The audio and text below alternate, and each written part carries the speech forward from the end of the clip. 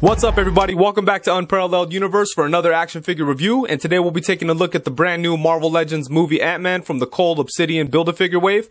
Now, when this figure was first announced, I wasn't really excited about it, but once I saw it in person, I was sold on it, so I picked it up and I'm kind of excited to talk about it. So let's get into it as usual, starting with the packaging.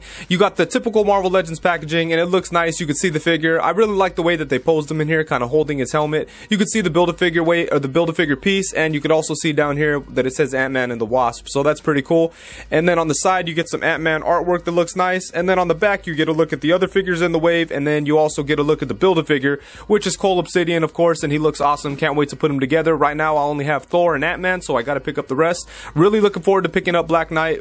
We'll see when I'm able to track him down. But anyways, that's that for the packaging. It's collector friendly, all that cool stuff. Now let's get into the figure itself. And here he is right out of the packaging, and for the most part, he's a pretty comfortable figure to mess around with. None of the joints are too tight or loose or awkward or anything, so I am happy about that. So let's get into it here. His head is able to move side to side.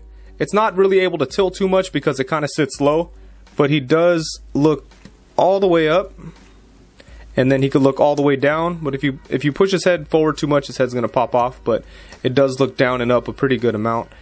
And then for his torso, his torso is a little limited it pretty much only crunches forward to about there. That does kind of suck. I wish there was a little bit more movement there. But it does go back to about there, so that's pretty good. And then you have the waist swivel. And then you have the ball jointed shoulders as usual. They go all the way around. They come out to the side. And you have the upper bicep swivel, double jointed elbows, a swivel at the wrist, and a hinge at the wrist. And then for his legs, you could almost get him to do the splits, but not quite. Pretty much only goes out to right there. Let's see if I can get it to go a little bit more. Oh, that's about it. And then they could kick forward a pretty nice amount. Check that out. They kick forward to about there. And then you could bring them back only to about there. Then they get stopped. And then you have the upper upper thigh swivel, double jointed knees. You have the rocking ankles. And they could also tilt forward and tilt up. But there is no swivel at the ankle or lower leg. That does kind of suck. I do wish that there was a swivel at the at the ankle there but there isn't. But yeah, for the most part, the articulation is pretty nice on this guy.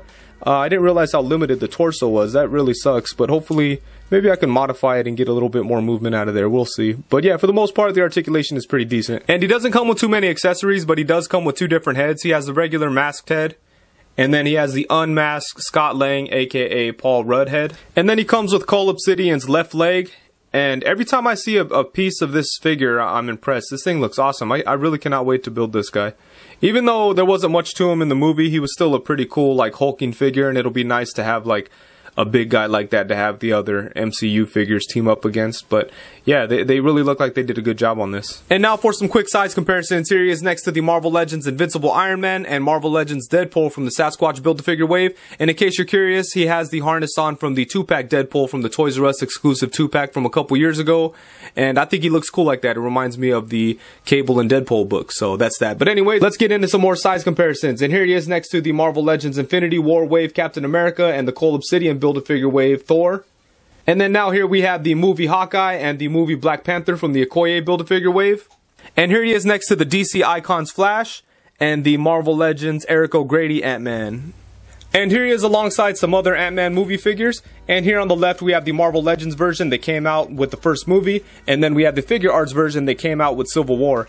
And then just in case anyone's curious, this is just a Vinylmation figure from uh, Disneyland. You can buy them at like Disneyland parks or Disney stores or whatever. And they're just little stylized uh, vinyl figures in the shape of Mickey, but they have all kinds of different ones. But the Marvel ones are really nice. I'm not really into blind bags or anything, but that's what this is, and uh, they're always fun to pick up. But anyways, let's get into the cool figures here. So out of the three, the Figuarts is still by far my favorite. I can't wait until we get the updated version of this with the brighter colors, and it's more based on the the new movie, and it looks great. But I love this one. This is one of my favorite figures in my collection. And uh, with these two, I'd say that the new one is by far superior. This one was okay when it first came out, but right right off the jump, it was kind of weird because it was really inaccurate. It seemed like it was based on some like early, maybe concept art or something. Because as you could see, the face is uh, totally wrong. But other than that, it does look cool. It kind of just looks like maybe like a what if kind of comic book Ant Man because it does have a the face that that resembles the the comic book look with with the exposed mouth. But uh, yeah, this new one is awesome compared to this other these other two. I, I definitely he's not as good as the Figuarts one, obviously, but you know he, he's he's really cool. And the Figuarts one did not come with the extra head, so that's one thing it has over it. And uh, this other one, you know, he's fine, but he's nowhere near the quality of this one. This one just has all kinds of nice texturing and a lot of good sculpted details. And again, it had the extra head. Uh, this one did come with like a little Ant Man and like an ant, and I think it even came with like a miniature Yellow Jacket, but the new one didn't come with any of that, but I guess you kind of don't need it if you already have the first one. And just in case anyone's curious, you can pop the head off, but the head doesn't really pop onto the ball there. But he does kind of look cool if you want to like modify that to sit on onto that old body. And you can pop the Figuarts head off too if you like, but you gotta be a little bit more careful there. But the ball the ball joint here is way too small, so no way is this head gonna fit on here, but you can just kind of sit it there. But even then, it just doesn't look right. It's too big.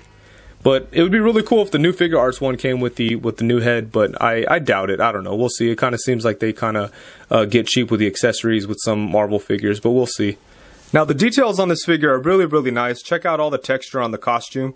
I think that really looks good. Only thing with mine, there's a couple paint flaws. You can see here on the shoulder, it's kind of messed up, and then on the back, it really isn't as clean as it should be. But I could probably touch that up. It's not a not a huge deal. I'm not terribly upset about it. But yeah, I love all the detailing on here. They really went crazy with the sculpt and stuff on here on the chest. And actually, just on the whole body, there's detailing everywhere. It reminds me of the Black Panther from the Civil War wave, how much detail that one had. This one's right up there with it. And yeah, it all looks pretty good. There isn't, I do have a couple paint flaws on mine actually. You can see on the gauntlet, like right here in the crease, it's not painted all the way. Same kind of thing over here. But again, not, not really huge, huge problems there. But yeah, everything looks pretty good. I don't really have any huge complaints. The only thing I'd say I wish was a little bit better is the head sculpt. And not really the sculpt, but the paint. I do wish that it had like more of a metallic finish it you know it's supposed to be metal and it straight up just looks like plastic they tried to do their little swirly metallic thing. It really didn't work too good. It just comes off as plastic. But uh, maybe that could be painted too and it would look really good. But just as is it could have been a little bit better. The sculpt is definitely there. I do wish we could see his eyes but we can't. They just have it solid red. And it doesn't look bad at all but it would have been cool to be able to see his eyes.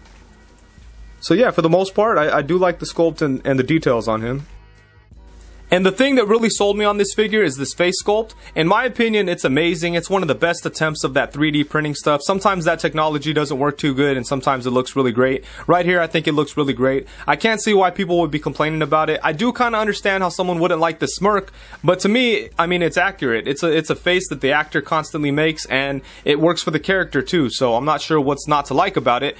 But yeah, it trips me out that people aren't into this this face sculpt. I know there was some early pictures of the of the figure floating around that didn't look very flattering, but you know, since it started to kind of hit stores and everything, I think more people have uh, started to like it because they could see it themselves and things like that. And pictures definitely don't do it justice. In hand, it looks amazing.